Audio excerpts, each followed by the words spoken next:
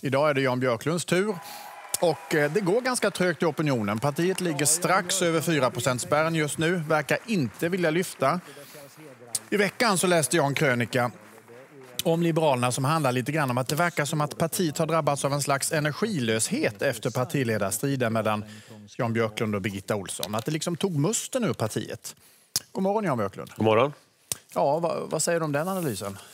Du håller inte med antar jag? Men... Den tror jag är felaktig. Men jag, däremot är jag bekymrad över ett debattklimat i Sverige nu som nästan, för det första så handlar det nästan bara om migration. Mm. Och för det andra så är det nästan bara utrymme för två åsikter. Det ena är de som säger att vi ska stänga Sverige, ingen ska få komma hit. Eller den andra ytterlighetskanten att alla ska få stanna. Mm. Och, och det, vi måste, för det första så måste vi klara av att föra den här diskussionen om migration i mer mm. nyanserade termer. Sverige ska, vara en, eh, ska ha en human flyktingpolitik men vi kommer inte kunna ensamma att lösa Europas flyktingproblem. Det är det ena. Och det andra är att många människor frågar efter svar på andra politiska områden men debatten handlar nästan mm. bara om migration. Vi ska återkomma till det Jan Björklund. Jag tänkte ändå bara, du sa, jag vet ju själv, jag vill bara återgå till den där partiledarstriden. Du sa ju själv att den kom då ganska olägligt när ni skulle koncentrera er på att gå in i en valrörelse. Ja. Det minns jag att du sa. Ja, ja, det tycker jag. Det gjorde den ju givetvis, men det är ju historia ja. nu. Men, det var ju, ja. men den kom ju... Men tre, tre fyra, ja, Nu tror jag inte det har några konsekvenser, men det var ju tre, fyra månader Eh, eller fyra, där, där, där alla frågor jag fick i den här typen av intervjuer handlade bara om det istället för om vår politik. Mm. Så det är klart, det var ett avbräck, men det var ju förra året. Så ja, nu är nu. Men det var ju inte helt irrelevant just då i alla fall nej, kan man säga. Nej. Men du, eh, om vi går till, till var ni befinner er nu. Förra valet strax över 5 procent, eller 5,5 mm. i princip. Och nu så ligger ni och pendlar kring 4 strecket Eh, varför lyfter det inte? Vilken är din ja, analys? Det, det, är ju, det är ju därför vi har en valkampanj nu. Den börjar ju nu, så det är ju på valdagen som räknas. Så att det, det är klart att vi inte är nöjda med, det, med den nivån. Eh, det är klart att vi ska växa i valet. Vad är rimligt det, då? Ja, vi, ska fram, vi ska gå framåt jämfört med förra valet. Vi hade 5,5 ungefär. Vi ska gå framåt. Och det, det, det, då ska man komma ihåg det här att det är ungefär 6 miljoner människor som röstar. 3 miljoner av dem bestämmer sig slutgiltigt sista månaden. Så det, det är ju ett öppet race hur det här mm. valet ska ja, gå. Nej, det är absolut inte kört. Men än så länge har det inte lyft i alla fall i opinionen. Jag hade Marcus Oskarsson här för en stund sedan. Han ville skicka med en fråga. Han hade en bild på Bengt Westerberg, en bild på eh, Leijonborg. Och de hade ju så kallade effekter båda två. Och, och han undrade när kommer Björklund-effekten? I båda fallen så kom ju de just den här sista veckorna när människor verkligen funderar på vem ska man rösta på. Och till sist så handlar det om, alltså det finns ju bara ett sätt att vinna människors förtroende. Och det är att man berättar hur ser vi på Sveriges utmaningar och problem och hur vill vi lösa dem? Det, ju, det finns ju inget annat hokus pokus sätt utan det är ju det det handlar om. Att, att, att få vinna människors förtroende för vår beskrivning av hur Sverige funkar idag och hur vi vill utveckla Sverige. Mm.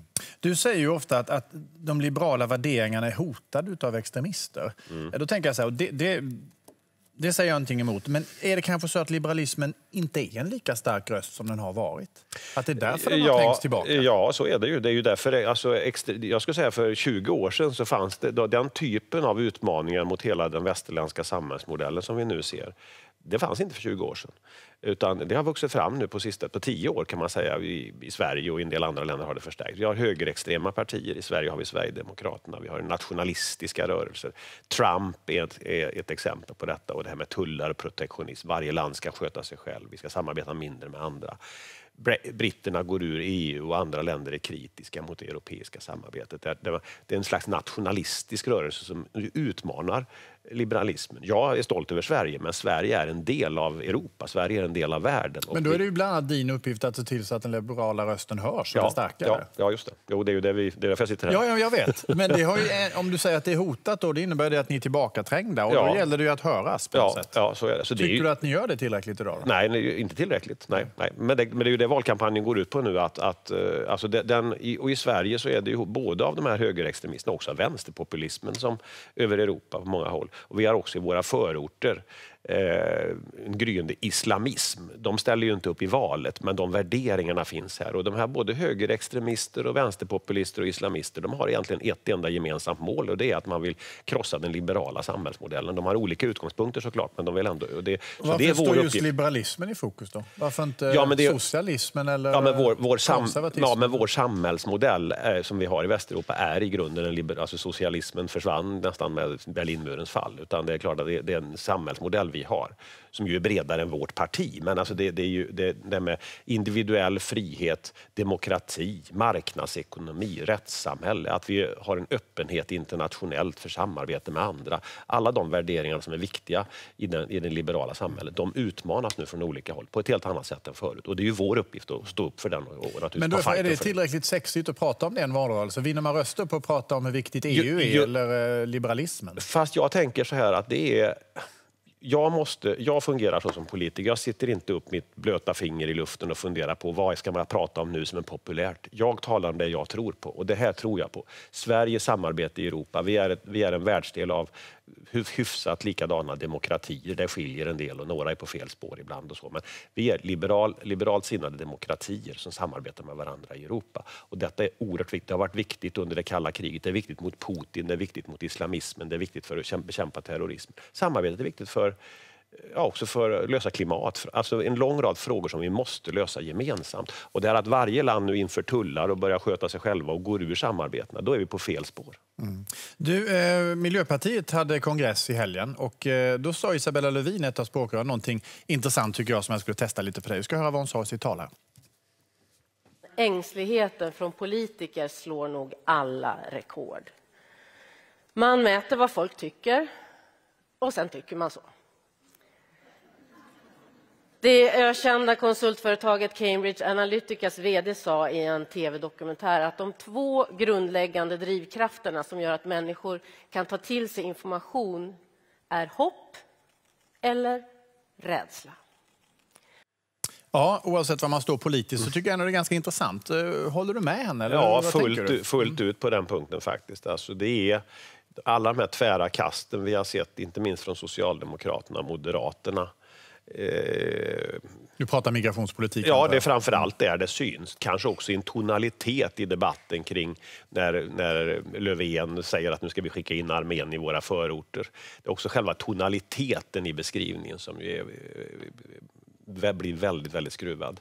Och, och, ja, det, och det är naturligtvis så att de har mätningar som tyder på att de, ja, då, de är rädda för att tappa väljare till Sverigedemokraterna istället för att stå upp för sina värderingar, vilket jag menar man måste göra. Och det, så jag, jag, fatt, jag fattar ju det här att jag förstår att det kanske blir ännu populärare att säga att vi ska gå ur EU istället för att säga att vi ska samarbeta mer i EU. Men man måste ju stå för det man tror på. Så du menar att ni är inget populistiskt parti? Ni, det, syns väl, det syns väl i våra mätningar att vi inte liksom... Då hade vi kanske haft mer röster om vi hade varit vindflöjel. Men jag, tänker, jag ser inte på mitt uppdrag på det sättet. Jag tänker på, du är ändå den, som har sutt, den partiledare som har suttit längst i riksdagen nu, eh, 2007. Jag tänker efter förra valet, du gick ni ut och sa att nu ska vi nu ska vi vad heter det, göra en förnyelse, genomföra en förnyelse av partiet. Eh, och det tydligaste tycker jag då, är att ni har bytt namn från Folkpartiet till Liberalerna. Mycket mer vet jag inte. Men alltså det är ju fortfarande det här mobilförbud i klassrummen, betyg i årskurs 4, förbud mot religiösa friskolor. Det har, skol, alltså skol, alltså så här. Det har inte hänt jättemycket i förändringen? Eller Fast det? det? är klart att, att skolan är vår viktigaste huvudfråga. Ja. Det, det, är ju inte någon, nu ska vi förnya oss och nu ska vi byta koncept. Vi tror ju att, vi tror ju att skolan är viktigast. Det, det, det, vi sätter skolan först. Det har vårt parti gjort i hundra mm. år. Men vad bidde av förnyelsen då?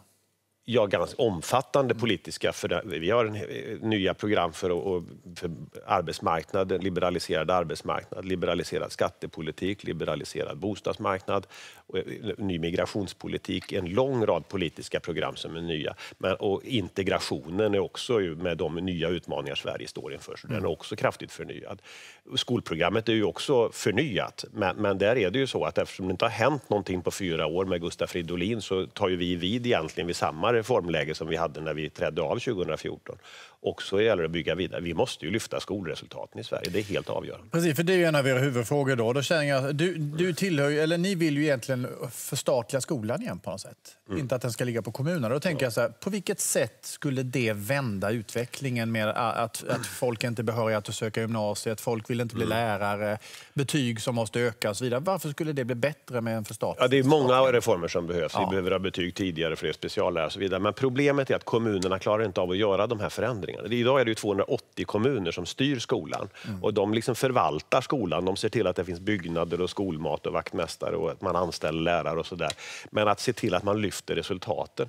De flesta kommuner har inte kompetensen att göra det. Eller, eller se till att det blir likvärdigt. Se till att läraryrkets status har ju sjunkit katastrofalt sedan skolan kommunaliserades det var ju, vi hade ju många ungdomar ville bli lärare när skolan var statlig och egentligen ungefär samtidigt då, från 90-talets början så har det bara gått ut för. Och det beror ju på att kommunerna har inte då värdesatt eh, lärarnas okay. insatser. Så det finns ingen tillräcklig styrka då? Det finns ju de som drar paralleller med, med sjukvården, att man skulle vilja se likadant där. Vad, vad säger du det, för statliga vården Ja, det kan man mm. diskutera också. Det, det, nu är det så att landstingen är trots allt mycket, mycket större än de små kommunerna. Och, och, men det är riktigt att vi har ju de här landstingen i Norrland som ju bara, där vårdköerna bara växer. De, det är uppenbart, de klarar inte av sjukvården, så vi behöver mer statlig styrning där också. Hur känns det nu då? Om hundra dagar så står jag i den här studion tillsammans med Tilde och förmodligen Marcus Oskarsson också. Ni kommer förbi och säger hej. Kommer du vara en glad man då? Ja.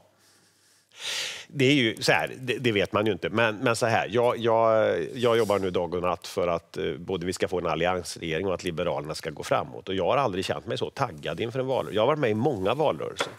Och som du sa, jag har varit med länge och det, jag tror ju inte att erfarenhet nödvändigtvis är en belastning. Utan tvärtom så kan det vara en tillgång i det ganska stormiga läge vi har. Mm. Och, och det, det, det, är så mycket som står på spel med, med extremistkrafter som mm. går fram. Så jag har aldrig varit så taggad som nu. Du har kavlat upp ärmarna, det lär behövas. Eh, Jan Björklund, partiledare för Liberalerna. Tack snälla för att du kom hit. Tack så mycket. Ha en fortsatt trevlig lördag. Tack.